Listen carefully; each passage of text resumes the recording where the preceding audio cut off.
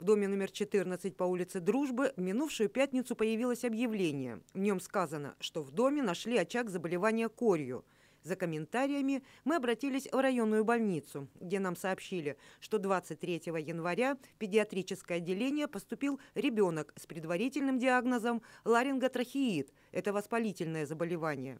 Ребенок был госпитализирован, а 24 января уже в инфекционное отделение снова поступил ребенок с подозрением на заболевание корью. Заболевшие дети оказались родственниками. В настоящее время два ребенка с подозрением на э, заболевание корью находятся э, в инфекционном отделении.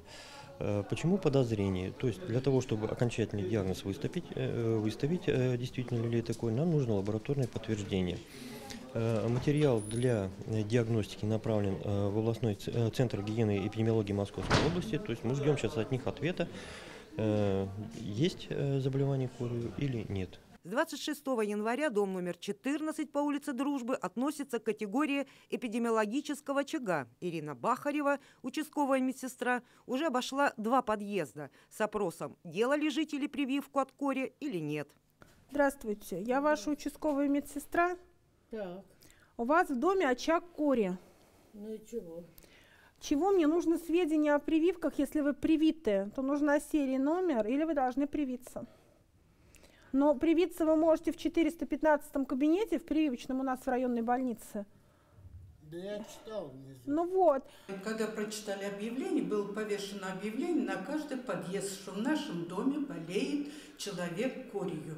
Нужно сделать это, прививки, обратиться в ЦРБ. Но дело в том, что мы как вот постоим, собрались пенсионер, постояли, что же делать, делать или не делать. Если вы согласны, то значит в удобное для вас время вы это можете угу. сделать.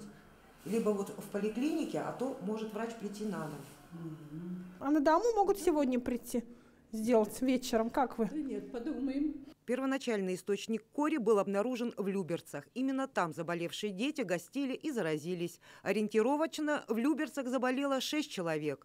В Сергиевом Посаде риск заболевания ниже, отмечают врачи. Но советуют не рисковать здоровьем. И если люди не помнят, делали им прививку или нет, пройти вакцинацию. Люди проинформированы и приходят на вакцинацию. У меня уже было два посещения. Брат с сестрой приходили, они из этого дома узнали, как бы, что такое в доме у них происходит, и они пришли на вакцинацию сегодня. По словам медиков, прививка от кори гарантирует наличие иммунитета. Жители дома номер 14 по улице Дружбы могут пройти вакцинацию в районной поликлинике, кабинет номер 415. Но пока люди идут неактивно. Полина Иноземцева, Михаил Кирсанов. Программа «События».